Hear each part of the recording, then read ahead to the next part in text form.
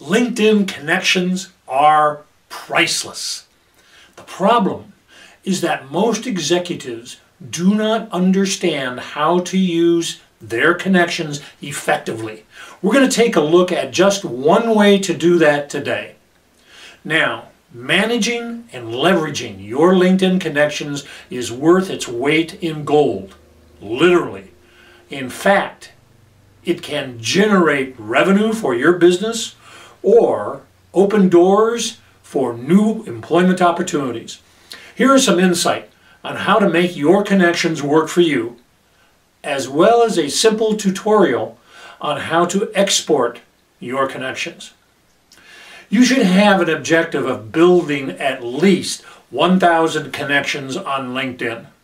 That will take some time, but if you work at it for just a few minutes each day, you will be amazed at how fast it grows. Focus on connections that are relevant to your industry or functional area. Do not accept invitations just for the sake of building uh, your numbers on LinkedIn. Now, here are just a few reasons why you should build your connections. Number one, if you are a blogger, and you should be, you can email your new blog posts to your connections. That is far more powerful than just adding your blog post to your LinkedIn updates. Your readership will skyrocket. Now, I have done a couple of other videos on the power of blogging. I will provide annotations in this video. I suggest you read those or watch those as well. If you choose to do mass emails to your connections, use caution when doing so, as you may end up on spam blacklists. I recommend you use an email service like iContact. It is inexpensive and enables you to manage all of your mailings. Number two, update your connections on any change in your employment uh, i.e., for example, uh, a new position you achieved in your company. Or if you made a transition to a new organization, uh, tell people what your new company is. Or if you are now in transition, don't hesitate to email your contacts and let them know that as well. Number three, give your connections relevant content that could be of benefit to them. Discuss industry trends, technologies, emerging new businesses or products. Don't just shamefully try to sell your products, services, or seek employment. That's a great way to lose your connections. However, if you provide them with fresh content and a solid benefit, then it is acceptable to mention your company and or service. Nobody expects you to work for free, so it is perfectly acceptable uh, to let people know what business you represent and how that can be of service to them. But always provide a benefit and fresh content to the viewers. Number four, organize your connections into groups based on criteria. You can sort your connections by location, industry, company, name, and many more. This is effective for targeting a specific group of colleagues to contact, rather than contacting all of your connections at one time, or sifting through your connections and finding them one by one.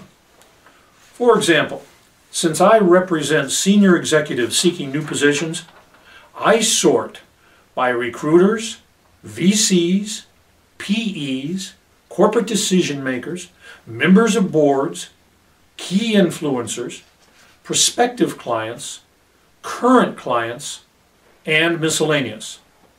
I can now communicate a different email message or campaign to each segment.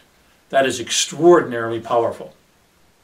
Now, let's just take a quick look at a simple tutorial on exporting your LinkedIn connections. Number one, from the LinkedIn home screen, mouse over the Contacts tab. This will open up a drop-down menu. Within the drop-down menu, select connections. Step number two. If you would like to just quickly export all of your connections into an Excel spreadsheet, click the link on the bottom right that says Export Connections. It is as simple as that. Number three, traditionally, this page allows you to sort through all of your connections based on criteria.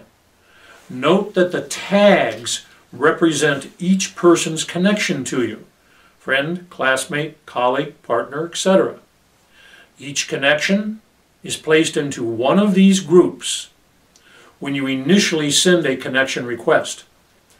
Now, you are able to add additional tags in order to sort your connections as you wish.